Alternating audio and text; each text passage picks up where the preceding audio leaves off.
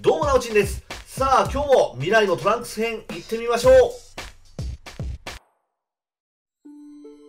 す素晴らしいですよ。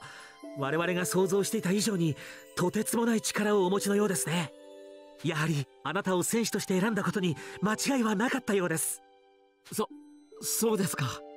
でも俺にはこの剣の力はまだよく感じられません。うんもっと使いこなすことができるようになれば何か見えてくるのでしょうか？トランクスよ。修行だ。修行をするのだ。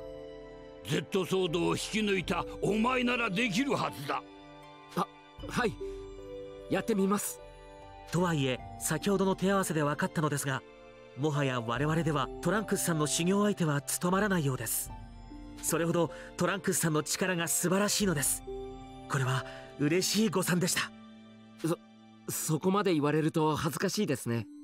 ですがやはりより強い相手と手合わせをした方が修行の効率は良いのでしょうね。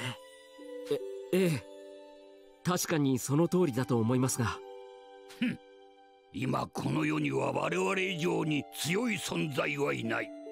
我々が相手にならないというのならせいぜい頭の中で修行するしかあるまい頭の中ならいくらでも強い相手を想像できるだろう。まあもっともそんなことが修行になるかどうかはわからんが。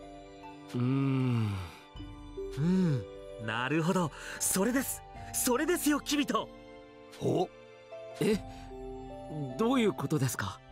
少しあなたの心の中を覗かせてもらってそのイメージをより鮮明にあなたの心に投影するそんなことできるの？うまくいけばその本人がまるで目の前にいるように見せることができるはずです。へえそれはすごいですね。さすがは海王神様。我らにない発想をお持ちだ。では早速やってみましょう。あなたが手合わせしてみたい方を思い浮かべてみてください。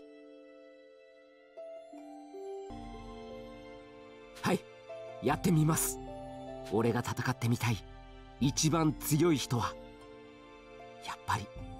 あの人だな。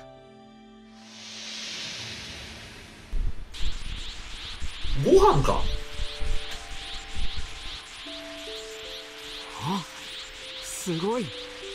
本当にごはんさんがいるみたいです。ではあなたの記憶にあるその方の戦い方を模倣して手合わせしてみましょうか。はいお願いします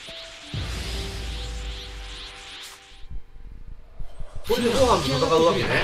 すごいいやでももう相手にはならないんだよな。おっと避ける。お